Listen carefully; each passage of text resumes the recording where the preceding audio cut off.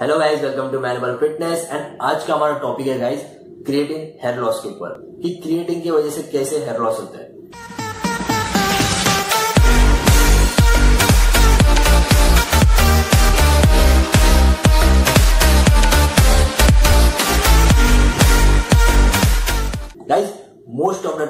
सबको पता होगा कि गाइस हमारे बॉडी में एक टेस्टोस्टेरोन नाम का हार्मोन होता है एंड एक डायड्रो टेस्टोस्टेरोन नाम का हार्मोन होता है। That is known as D H T तो गाइस होता क्या है? ये जो टेस्टोस्टेरोन नाम का हमारे बॉडी में हार्मोन होता है ये आप सबको पता है कि ये मेल बॉडी में नंबर वन मेल हार्मोन है जो कि मेल बॉडी में एक वाइटल रोल प्ले करता है for male development growth and muscle development and many more के लिए। सो so, ये आप सबको पता है। तो गाइस होता है? ये टेस्टोस्टेरोन हमारे बॉडी में कन्वर्ट होता है through an enzymes known as far that is five alpha reductase और कन्वर्ट होता है गाइस ये टेस्टोस्टेरोन डीएचटी में. दैट इज़ डायड्रो टेस्टोस्टेरोन मतलब गाइस हमारे बॉडी में होता है टेस्टोस्टेरोन उसे कन्वर्ट करता है एक enzymes known as five alpha reductase dihydro testosterone में. एंड ये जो डायड्रो टेस्टोस्टेरोन है गाइस ये एक मेजर रीजन है हमारा बॉडी में हेयर फॉल का. अब ये गाइस जो टेस्टोस्टेरोन ने कन्वर्ट किया डीएचटी को तो उसका प्रोपोर्शन कितना होना चाहिए? गाइज़ अगर आपके बॉडी में डीएसटी का proportion as compare to testosterone five to ten percent है then guys is totally safe because DHT भी डीएचटी हार्मोन भी काफ़ी इंपॉर्टेंट रोल प्ले करता है हमारे बॉडी में for voice beard and erectile function में।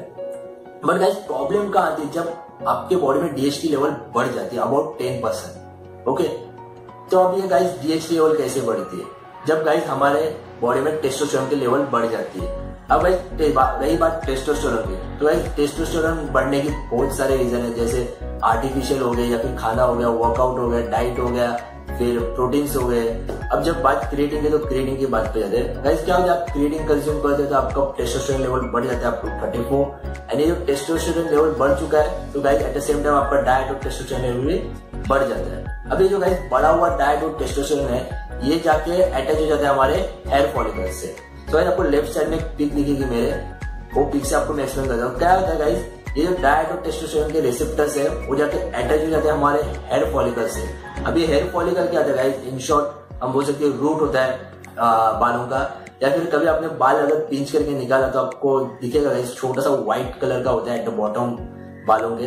तो guys that part is known as a hair follicle तो गाइस होता है क्या? ये रिसेप्टर जाके अटैच हो जाते हैं हमारे हेयर फॉलिकल को। एंड धीरे धीरे गाइस वो फ्लो ऑफ़ न्यूट्रिएंट्स बंद कर देते हैं।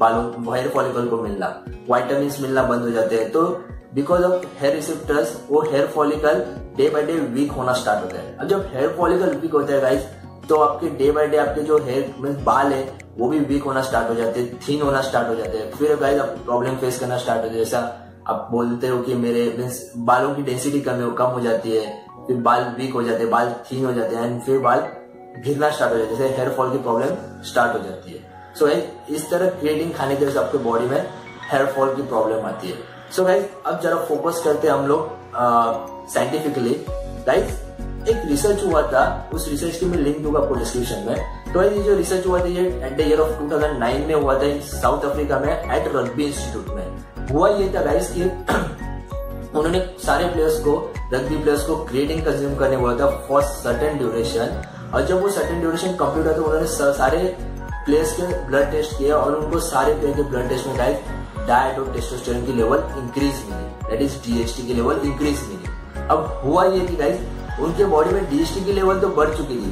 पर एट द सेम टाइम कुछ प्लेयर्स में गाइस उन्होंने ये भी ऑब्ज़र्व किया कि डीएचटी की लेवल बढ़ने की वजह से हेयर फॉल भी, उन्होंने हेयर फॉल की प्रॉब्लम फेस कर रहे थे। मतलब गाइस कंक्लूजन यही है कि देखो क्रिएटिन खाने के उनका टेस्टोस्टेरोन लेवल बढ़ा टेस्टोस्टेरोन लेवल बढ़ने की वजह से डीएचटी का लेवल बढ़ा और डीएचटी के लेवल बढ़ने की वजह से हेयर हेयर प्रॉब्लम हुआ। मतलब गाइस क्रिएटिन डायरेक्टली रिलेटेड है फॉर हेयर लॉस प्रॉब्लम के लिए। ओके सो गाइस और और एक बात, आपकी बात ऐसी नहीं है सिर्फ़ क्रिएटिन खाने से आपके हेयर फॉल हो गए डीएचटी लेवल बढ़ने से आपके मीन हेयर फॉल हो गए। गाइस थोड़ा हेयर फॉल हमारे जेनेटिक्स पे भी डिपेंड होता है हेयर लॉस की प्रॉब्लम अगर आपके जेनेटिक्स आपके हेयर लॉस प्रॉब्लम देने वाले हैं तो गाइज़ अगर आप क्रिएटिन कंज्यूम नहीं करोगे तो भी आपको हेयर फॉल होगा। एंड अगर आपको नहीं देने वाले तो गाइज़ मोस्ट ऑफ़ टाइम कुछ लोग क्रिएटिन कंज्यूम करते हैं डेली फिर भी गाइज़ उन्हें हेयर फॉल की प्रॉब्लम नहीं आती है। मतलब पर guys most of the time होता क्या है अगर जेनेटिक्स आपको प्रॉब्लम देने वाले हेयर फॉल की पाँच साल बाद, पर आप क्रिएटिंग खाने की वजह से उस प्रॉब्लम को जल्दी इन्वाइट कर लेते हो तो आप शायद आपको एक या डेढ़ साल के अंदर ही आपको प्रॉब्लम फेस करनी पड़ेगी हेयर लॉस की। या फिर कुछ लोगों में गाइज़ प्रॉब्लम नहीं रहती है, फिर भी क्रिएटिन खाने की वजह से डीएसटी लेवल बढ़ते हैं डीएसटी की वजह से हेयर फॉल की प्रॉब्लम गाइज़ लोग फेस करते हैं। सो गाइज़ अब मेरा ओपिनियन देखोगे तो माय पॉइंट ऑफ़ व्यू अगर देखोगे इस वीडियो के बारे में सोचोगे सो मेरा तो ये रहेगा गाइज़ ओपिनियन की stop taking creatine okay guys कोई ज़रूरत नहीं है, बिना क्रिएटिन की अच्छी बॉडी बनती है। हम गाइज़ ऐसा नहीं है कि बाल और नाखून अगर काटने पे दर्द होता है तो वो हमारी बॉडी में इंपॉर्टेंट रोल नहीं प्ले करते।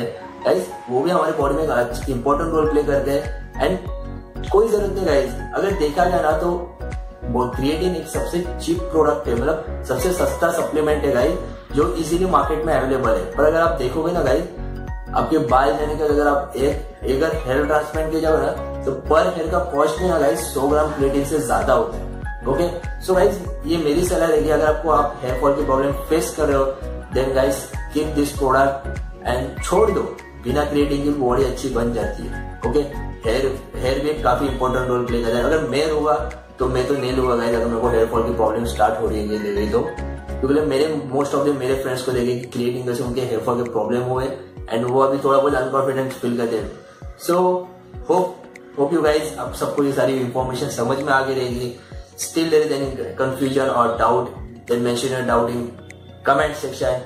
Till then, subscribe our channel, like our channel और क्या कहते शेयर अवर चैनल और क्या बोलते हो घंटी बजाओ। Hit the bell icon to get our latest update so thank you guys